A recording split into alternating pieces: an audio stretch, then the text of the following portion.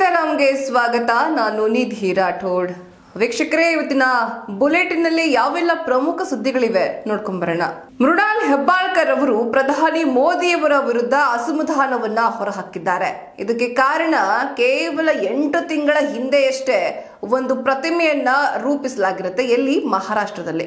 ಮಹಾರಾಷ್ಟ್ರದಲ್ಲಿ ಉದ್ಘಾಟಿಸಲಾಗಿದ್ದಂತಹ ಛತ್ರಪತಿ ಶಿವಾಜಿ ಮಹಾರಾಜರ ಒಂದು ಮೂರ್ತಿ, ಒಂದು ಪ್ರತಿಮೆ ಏನಿದೆ ಅದು ಬಿದ್ದು ಹೋಗಿದೆ. ಅಂದ್ರೆ ಒಂದು ರೀತಿ ಹಾಳಾಗ್ಬಿಟ್ಟಿದೆ, ನಾಶವಾಗಿದೆ.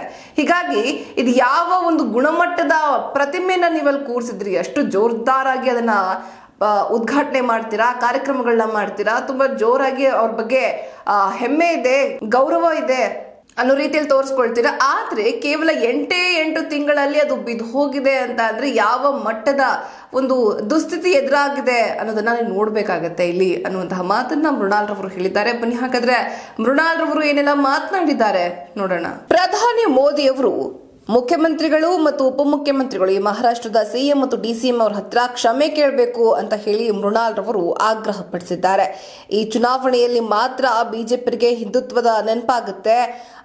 ಬಿಜೆಪಿ ಯಾವಾಗಲೂ ಕೂಡ ಹಿಂದುತ್ವ, ಹಿಂದೂ ಜನ, ನಮ್ಮ ಭಾಗವ ಜನ ಹೀಗೆಲ್ಲ ಮಾತನಾಡ್ತಾ ಇರ್ತಾರೆ. ಆದ್ರೆ ಹಿಂದೂ ಜನ ಅಥವಾ ಹಿಂದುತ್ವದ ಪ್ರತೀಕ ಅಂತ ಏನು ಕರೆಸ್ಕೊಳ್ತಾರೆ? ಶಿವಾಜಿ ಮಹಾರಾಜರು ಅವರ ಒಂದು ಪ್ರತಿಮೆ ವಿರೂಪಗೊಂಡಿದೆ. ಅಥವಾ ಪೂರ್ತಿ ಸಂಪೂರ್ಣವಾಗಿ ನಾಶ ಆಗಿದೆ ಅಂತ ಹೇಳ್ಬೋದು. ಪೂರ್ತಿ ಬಿದ್ದೋಗ್ಬಿಟ್ಟಿದೆ. ಇನ್ನು ಅದನ್ನ ತೋರಿಸಿ ಸಾಕಷ್ಟು ಆಕ್ರೋಶವನ್ನು ಹೊರಹಾಕಿದ್ದಾರೆ, ಅಸಮಾಧಾನವನ್ನು ಹೊರಹಾಕಿದ್ದಾರೆ. ಬನ್ನಿ ಹಾಗಾದ್ರೆ ಅಸಲಿಗೆ ಸಮಸ್ಯೆ ಏನಾಗಿದೆ? ಮೃಣಾಲ್ ಹೆಬ್ಬಾಳ್ಕರ್ ಅವರು ಯಾವ ರೀತಿ ಆರೋಪ ಮಾಡ್ತಾ ಇದ್ದಾರೆ? ನೋಡೋಣ. ಬಹಳ ಒಲ್ಲದ ಮನಸ್ಸು, ಬಹಳ ಬೇಜಾರ ಮನಸ್ಸಿನಿಂದ ಇವತ್ತು ಮಾಧ್ಯಮದ ಸುದ್ದಿಗೋಷ್ಠಿಯನ್ನ ಕರಿಬೇಕಾದಂತ ಒಂದು ಸಂಗತಿ ನಮ್ಮೆಲ್ಲರ ಮುಂದೆ ಇವತ್ತು ನಿಜವಾಗ್ಲೂ ಕೂಡ ಇವತ್ತು ನಡೆದಂತ ಘಟನೆ ಏನು ಸಿಂಧುದುರ್ಗ್ ಜಿಲ್ಲೆಯ ಮಾಲ್ವನ್ ಫೋರ್ಟ್, ಮಾಲ್ವನ್ ರೀಜನ್ ಅಲ್ಲಿ ಇದ್ದಂತ ರಾಜ್ಕೋಟ್ ಫೋರ್ಟ್, ಮಹಾರಾಷ್ಟ್ರ ರಾಜ್ಯದಲ್ಲಿ ಕಳೆದ ಎಂಟು ತಿಂಗಳ ಹಿಂದೆ ಮಾತ್ರ ಛತ್ರಪತಿ ಶಿವಾಜಿ ಮಹಾರಾಜರ ಒಂದು ಭವ್ಯವಾದವನ್ನ ಮೂರ್ತಿಯನ್ನು ಈ ದೇಶದ ಪ್ರಧಾನಮಂತ್ರಿಯಾದಂತ ನರೇಂದ್ರ ಮೋದಿಜಿ ಅವರು ಅಲ್ಲಿಯ ಮುಖ್ಯಮಂತ್ರಿಗಳಾದಂತ ಏಕನಾಥ್ ಶಿಂದೆ ಅವರು ರಾಜನಾಥ್ ಸಿಂಗ್ ಅವರು ಹಾಗೂ ದೇವೇಂದ್ರ ಫಡ್ನವೀಸ್ ಅವರು ಇವರೆಲ್ಲರೂ ಸೇರಿಸಿ ಒಟ್ಟಿಗೆ ಕೂಡಿ ನೌಕಾಪಡೆಯ ಜೊತೆಗೆ ಅಲ್ಲಿ ಒಂದು ಶಿವಾಜಿ ಮಹಾರಾಜರ ಮೂರ್ತಿಯನ್ನ ಒಂದು ಸ್ಥಾಪನೆ ಮಾಡಿ ಬಹಳ ವೇಗದಲ್ಲಿ ಅದನ್ನ ಉದ್ಘಾಟನೆ ಮಾಡ್ತಾರೆ. ಆದ್ರೆ ಕಳೆದ, ಬರೀ ಕಳೆದ ಎಂಟು ತಿಂಗಳಲ್ಲಿ ಆ ಮೂವತ್ತೈದು ಅಡಿ ಎತ್ತರದ ಮೂರ್ತಿ ಇವತ್ತು ತಾವು ನೋಡ್ಬೋದು. ಇವತ್ತು ಅದರ ಪರಿಸ್ಥಿತಿ ನೋಡಿದ್ರೆ ಇವತ್ತು ಆ ಮೂರ್ತಿ ಇವತ್ತು ಬಿದ್ದೋಗಿದೆ. ನಾ ಈ ದೇಶದಲ್ಲಿ ಇದ್ದಂತ ಪ್ರತಿಯೊಬ್ಬ ಶಿವಭಕ್ತರ ಒಂದು ಭಾವನೆಯನ್ನ, ಒಂದು ದುಃಖದ ಸಂಗತಿಯನ್ನ ನಮ್ಮ ಮುಂದೆ ಇಡಬೇಕಂತ ಒಂದು ಮನಸ್ಸಲ್ಲಿ ನಿಮ್ಗೆ ಹೇಳಲಿಕ್ಕೆ ಬಯಸ್ತೀನಿ. ಇವತ್ತು ಅದೇ ರೀತಿ ನಮ್ಮ ಜಿಲ್ಲೆಯಲ್ಲಿ, ನಮ್ಮ ರಾಜ್ಯದಲ್ಲಿ, ನಮ್ಮ ಈ ಜಿಲ್ಲೆ, ಈ ರಾಜ್ಯದ ಸಚಿವರಾದಂತ ಇವಾಗಿನ ಸಚಿವರು ಲಕ್ಷ್ಮೀತಾಯಿ ಹೆಬ್ಬಾಳ್ಕರ್ ಅವರು ಆಗಿನ ಶಾಸ ಶಾಸಕರ ತಮ್ಮ ಅವಧಿ. ನಮ್ಮ ಜಿಲ್ಲೆಯಲ್ಲಿ, ನಮ್ಮ ರಾಜ್ಯದಲ್ಲಿ, ನಮ್ಮ ಈ ಜಿಲ್ಲೆ ಈ ರಾಜ್ಯದ ಸಚಿವರಾದಂತ ಇವಾಗಿನ ಸಚಿವರು ಲಕ್ಷ್ಮೀತಾಯಿ ಹೆಬ್ಬಾಳ್ಕರ್ ಅವರು ಆಗಿನ ಶಾಸ, ಶಾಸಕರ ತಮ್ಮ ಅವಧಿಯಲ್ಲಿ ಇವತ್ತು ರಾಜನ್ಸ್ಗಢ ಕೋಟೆ ಮೇಲೆ ಇದ್ದಂತ ಒಂದು ಒಂದು ಮೂರ್ತಿ, ಭವ್ಯವಾದ ಮೂರ್ತಿ, ಐವತ್ತೈದು ಅಡಿ ಹತ್ರ, ಎತ್ತರದ ಒಂದು ಮೂರ್ತಿ. ಆ ಮೂರ್ತಿಯ ಮಾಡಿದಂತ ಸ್ಟ್ರಕ್ಚರ್ ಇಂಜಿನಿಯರ್ ಕೂಡ ಇವತ್ತು ನಮ್ಮ ಜೊತೆ ಇದ್ದಾರೆ ಆ ಮೂರ್ತಿಯಲ್ಲಿ ಮಾಡಿದಂತ ಆ ಕಾಂಟ್ರಾಕ್ಟರ್ ಅವರು ನಮ್ಮ ಜೊತೆ ಇವತ್ತಿದ್ದಾರೆ. ಆ ಮೂರ್ತಿನಿ ಮಾಡಬೇಕಾದಂತ ಏನ್ ಫೌಂಡೇಶನ್ ಯೂಸ್ ಆಗಿದೆ? ನಮಗಂತೂ ನೂರು ನೂರು ವರ್ಷ ಬರಬೇಕಾದಂತ ಒಂದು ಫೌಂಡೇಶನ್ ಇವತ್ತಲ್ಲಿ ತಯಾರಾಗಿದೆ.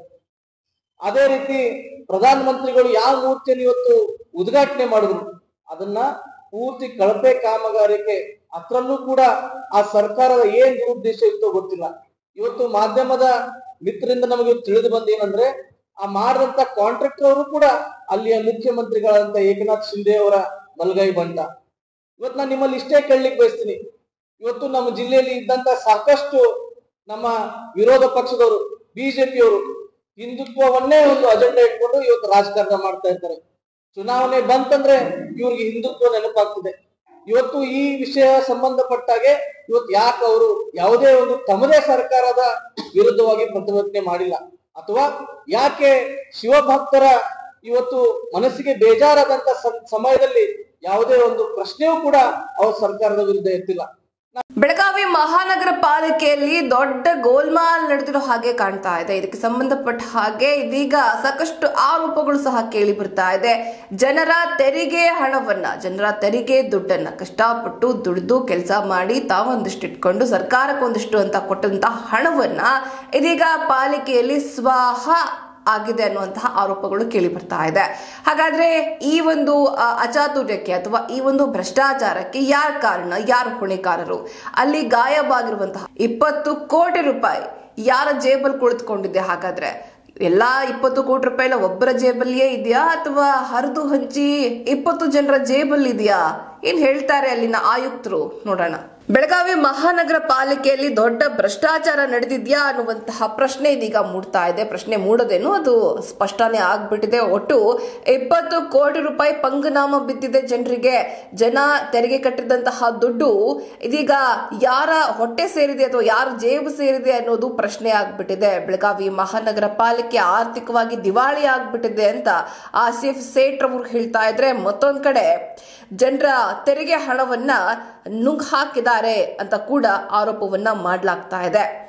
ಸಾಕಷ್ಟು ದುಸ್ಥಿತಿಯಲ್ಲಿದೆ ಬೆಳಗಾವಿಯ ಪರಿಸ್ಥಿತಿ. ಅಂದ್ರೆ ಅಲ್ಲಿನ ರೋಡ್ ರಸ್ತೆಗಳಾಗಿರಬಹುದು, ನೀರಿನ ವ್ಯವಸ್ಥೆ ಆಗಿರಬಹುದು. ಹೀಗೆ ಪ್ರತಿಯೊಂದನ್ನು ಫ್ಯಾಕ್ಟ್ ಚೆಕ್ ಮಾಡ್ತಾ ಹೋದ್ರೆ ಯಾವುದು ಕೂಡ ಸರಿಯಾಗಿಲ್ಲ. ಹಾಗಾದ್ರೆ ದುಡ್ಡು ಎಲ್ಲಿ ಹೋಯ್ತು ಎಂಬ ಪ್ರಶ್ನೆಗೆ ಉತ್ತರ ಅಧಿಕಾರಿಗಳು ಕೊಡಬೇಕಾಗತ್ತೆ. ಒಂದು ಕೇಸು ಆಗಿದೆ ಆರ್ಡರ್ ಇದು ಬಿಟ್ಟು. ಆ ಟೋಟಲ್ ಕೂಡ ಅಷ್ಟು ಬರ್ಬೋದು. Approximately approximately about hundred and fifty crores ತನಕ ಬರ್ಬೋದು. ಅಪ್ರಾಕ್ಸಿಮೇಟ್ಲಿ ಆಗೋದು. ಈ ಇದು ಈ ನೋಡಿದಂದ್ರೆ ಸರಿ ಈಗ ಪಾಲಿಕೆ ಬಳಿ ಇರುವಂತದ್ದು ಕೇವಲ ನಲವತ್ತಾರು ಕೋಟಿ ಈ ರೀತಿ ಕೊಡೋದಾದ್ರೆ ಪಾಲಿಕೆಯನ್ನ ಅಡ ಇಡಬೇಕಾಗುತ್ತೆ. ಪಾಲಿಕೆಯನ್ನೇ ಅಡ ಇಡಬೇಕಾಗುತ್ತೆ ಅಂತ. ಇಪ್ಪತ್ತು ಕೋಟಿ ತುಂಬಿದ್ರೆ ಇರೋ ಮೂವತ್ತೊಂಬತ್ತು ಕೋಟಿ. ಒಂಬತ್ತು ಕೋಟಿಗೆ ಆಗಲಿ ಡೆವಲಪ್ಮೆಂಟ್ ವರ್ಕ್ ಈಗ ಪ್ರತಿ ತಿಂಗಳು ಎಂಟು ಕೋಟಿ ಎಂಬತ್ತು ಲಕ್ಷ ನಿಮ್ದು ವೇತನ ಒಂದು ಕೋಟಿ ಮಹಾನಗರ ಪಾಲಿಕೆ ಹತ್ತರ ಸಲುವಾಗಿ ನಾವು ಕೇಳ್ತಾ ಇದ್ವಿ ಅವ್ರಿಗೆ ವಿನಂತಿ ಮಾಡ್ತಾ ಇದ್ದೀನಿ ನಾನು. Will give five crores and as far time ಮತ್ತು ಏನಾಗಿದೆ ಮೊದಲು ಎರಡು ವರ್ಷ ಒಂದು ವರ್ಷ ಹಿಂದೆ? ತಮ್ಗೆಲ್ಲರಿಗೂ ಗೊತ್ತು. ಸರ್ ಒಂದು ಒಂದು ಕ್ವಶನ್ ಏನಿದೆ ಅಂದ್ರೆ ಒಂದು ಕ್ವಶನ್ ಏನಂದ್ರೆ ಏಟ್ ವೀಕ್ಸ್ ಟೈಮ್ ಕೊಟ್ಟಿದ್ರು ಅವರು ಕೊಟ್ಟ ನಂತರ ಲಾ ಆಫೀಸರ್ ಏನೂ ಕೊಡ್ಲಿಲ್ಲ. ಎರಡನೇ ದಿನ ತಾವು ರಿಕ್ವೆಸ್ಟ್ ಮಾಡ್ಕೊಂಡಿದ್ರಿ ಐದು ಕೋಟಿ ಕೊಡ್ತೀವಿ ಆಮೇಲೆ ಯಾವ್ದು ಸಬ್ಮಿಷನ್ ಮಾಡ್ರಿ ಅಪ್ಡೇಟ್ ಕೊಡ್ರಿ ಅಂತೇಳಿ. ಅದಕ್ಕೆ ಯಾಕೆ ಒಪ್ಪಲಿಲ್ಲ ಸರ್ ಅವರು? ಅವ್ರಿಗೆ ಎಲ್ಲಿಂದ ಪ್ರೆಷರ್ ಬಂತು ನನಗೆ ಈ ಗರ್ ಶಿಕ್ಷೆ ಹಾಕೋದ್ರ ಲಾಸ್ಟ್ ಆಶೆನ ಕೇಳ್ತಾರೆ. ಈಗ ಗಲ್ ಶಿಕ್ಷೆ ಅಂತ ಈಗ ಬೆಳಗಾಂ ಡೆವಲಪ್ಮೆಂಟ್ಗೆ ತಾವು ಹಿಂಗೆ ಅಡ್ಡ ಬರ್ತಾ ಚಾಲೂ ಮಾಡಿದಂದ್ರೆ ರೂಲಿಂಗ್ ಆಗಿತ್ತಂದ್ರೆ ಹೆಂಗೆ ಡೆವಲಪ್ ಆಗೋದು ಸಿಟಿ ನಾನು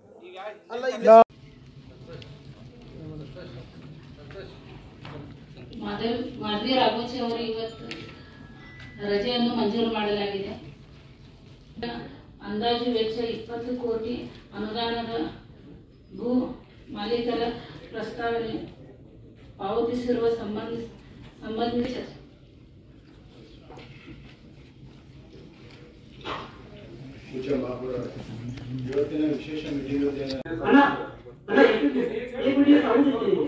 ಸಂಬಂಧಿತ मार्केट एमडीने काय सांगितलंय की रोड आम्ही केलाय कॉर्पोरेशनला एनओसी दिलाय आता सभागृहाने सांगितलं की कॉर्पोरेशनला एनओसी दिलाय ठीक आहे तर असं याचा अर्थ असा देखील लोकांच्या घरापर्यंत आणि स्मार्ट सिटीनं ज्यावेळेस रोड केले त्यावेळेस पब्लिक मिटिंग त्या लोकांना विश्वासात घेतलेला अनुदान आहे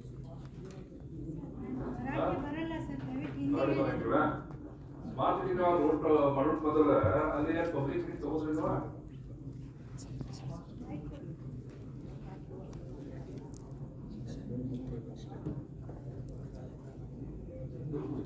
ಪೂಜೆ ಮಾಡೋದು ಮೇಡಮ್ ರೇಣುಕಾಸ್ವಾಮಿ ಕೊಲೆ ಪ್ರಕರಣದಲ್ಲಿ ಜೈಲು ಸೇರಿರುವಂತಹ ನಟ ದರ್ಶನ್ ಅವರಿಗೆ ಸಾಕಷ್ಟು ರಾಜ್ಯಾತಿಥ್ಯ ಸಿಗ್ತಾ ಇದೆ ಅನ್ನುವಂತಹ ವಿಚಾರಗಳು ಮೇಲಿಂದ ಮೇಲೆ ಬಹಿರಂಗವಾಗ್ತಾನೆ ಬಂದಿದೆ. ಅವರು ಅರೆಸ್ಟ್ ಆದಾಗಿನಿಂದ ಹಿಡಿದು ಈವರೆಗೂ ಕೂಡ ತುಂಬಾ ಚೆನ್ನಾಗಿ ಟ್ರೀಟ್ ಮಾಡ್ಲಾಗ್ತಾ ಇದೆ ಎಂಬ ಆರೋಪಗಳು ಕೇಳಿ ಬರ್ತಾ ಇತ್ತು. ಇತ್ತೀಚೆಗೆ ಅವರ ಒಂದು ಭಾವಚಿತ್ರ, ಒಂದು ಫೋಟೋ ಕೂಡ ಲೀಕ್ ಆಗುತ್ತೆ, ಅವ್ರ ಫೋಟೋ ಕೂಡ ವೈರಲ್ ಆಗುತ್ತೆ. ಒಬ್ಬ ನಟೋರಿಯಸ್ ರೌಡಿ ಶೀಟರ್ ಜೊತೆ ಕುಳಿತುಕೊಂಡು ಅವರು ಕೈಯಲ್ಲಿ ಸಿಗರೇಟ್ ಜೊತೆಗೆ ಟೀ ಕಪ್ ಅನ್ನ ಹಿಡ್ಕೊಂಡು ಪೋಸ್ ಕೊಟ್ಟು ಫೋಟೋ ತೆಗೆಸ್ಕೊಂಡಿರೋದು ನೋಡಿದ್ರೆ ಮ- ಅಂದ್ರೆ ಅಷ್ಟು ರಿಲ್ಯಾಕ್ಸ್ ಆಗಿದ್ದನ್ನ ನೋಡಿದ್ರೆ ಅವ್ರು ಎಷ್ಟು ಆರಾಮಾಗಿದ್ದಾರೆ, ಅವ್ರಿಗೆ ಬೇಕಾದಂತಹ ಎಲ್ಲಾ ಫೆಸಿಲಿಟೀಸ್ಗಳು ಅಲ್ಲಿ ಸಿಗ್ತಾ ಇದೆ ಅಂತಾನೆ ಅರ್ಥ. ಹೀಗಿರ್ಬೇಕಾದ್ರೆ ಬೇರೆ ಯಾರ್ಯಾರಿಗೆ ಇಲ್ಲಿ ಫೆಸಿಲಿಟಿ ಇದೇ ತರ ಸಿಗ್ತಾ ಇದೆ ಅನ್ನುವಂತಹ ಅನುಮಾನಗಳು? ಯಾಕೆಂದ್ರೆ ಈಗ ಸಾಕಷ್ಟು ಜನ ರಾಜಕೀಯ ವ್ಯಕ್ತಿಗಳು ಕೂಡ ಜೈಲಲ್ಲಿದ್ದಾರೆ. ಮುಖ್ಯವಾಗಿ ಪ್ರಜ್ವಲ್ ರೇವಣ್ಣ ಅವ್ರಿಗೂ ಕೂಡ ಇದೇ ರೀತಿಯ ಒಂದು ಟ್ರೀಟ್ಮೆಂಟ್ ಸಿಗ್ತಾ ಇದೆಯಾ ಅಲ್ಲಿ? ಅವ್ರಿಗೂ ಕೂಡ ಇದೇ ರೀತಿ ಅನುಕೂಲ ಆಗ್ತಾ ಇದೆಯಾ ಎಂಬ ಪ್ರಶ್ನೆ ಕೂಡ ಈಗ ಮೂಡ್ತಾ ಇದೆ. ಬನ್ನಿ, ಹಾಗಾದ್ರೆ ಈ ಬಗ್ಗೆ ಏನ್ ಹೇಳ್ತಾರೆ ನೋಡೋಣ.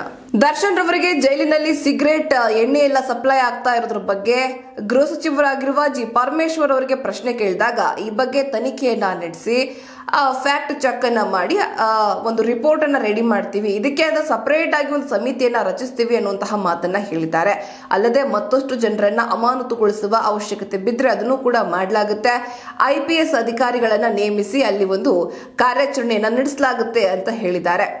ಆದ್ರೆ ಇಲ್ಲಿ ಮುಖ್ಯವಾಗಿ ಜನ ಕೇಳ್ತಾ ಇರುವಂತಹ ಪ್ರಶ್ನೆ ಏನು ಅಂತ ಅಂದ್ರೆ, ಇದೇ ರೀತಿ ಒಂದು ಅಚಾತುರ್ಯವನ್ನು ಮಾಡಿ ಅಥವಾ ಒಂದು ಕ್ರಿಮಿನಲ್ ಕೇಸ್ನಲ್ಲಿ ಇರುವಂತಹ, ಅಂದ್ರೆ ಏನು, ಹೆಣ್ಣು ಮಕ್ಕಳ ಮೇಲೆ ಅತ್ಯಾಚಾರ ಎಸಗಿದ್ದಾರೆ ಎಂಬ ಆರೋಪದಲ್ಲಿ ಪ್ರಜ್ವಲ್ ರೇವಣ್ಣ ಅವರು ಕೂಡ ಜೈಲಲ್ಲಿದ್ದಾರೆ. ಅವರಿಗೂ ಕೂಡ ಇದೇ ತರಹದ ಎಲ್ಲಾ ಸೌಲಭ್ಯಗಳು ಸಿಗ್ತಾ ಇದೆಯಾ?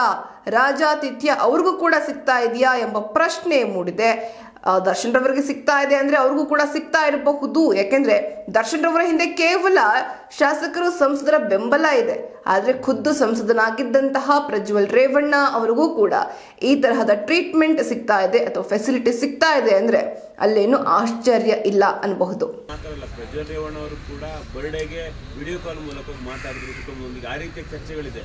ಬೇರೆಯವ್ರಿಗೂ ಕೂಡ ರಾಯಲ್ ಟ್ರೀಟ್ಮೆಂಟ್ ಕೊಂಡಾಗ್ತಾ ಇದೆ ಅಂತ. ಈ ಬಗ್ಗೆ ಎಲ್ಲನೂ ಕೂಡ ಅದನ್ನೆಲ್ಲ ಗಮನಿಸ್ತಾ ಈಗ ನಾವು ಈ ಘಟನೆ ನಡೆದ ಮೇಲೆ ಇಡೀ ಅಲ್ಲಿ ಏನು ಪ್ರಿಸನ್ನಲ್ಲಿ ಏನೆಲ್ಲ ನಡೀತಾ ಇದೆ, ದರ್ಶನ್ ಅವರು ವಿಚಾರ ಒಂದೇ ಅಲ್ಲ, ಬೇರೆ ಎಲ್ಲ ವ್ಯವಸ್ಥೆಯನ್ನು ಕೂಡ ರಿವ್ಯೂ ಮಾಡ್ತೇವೆ.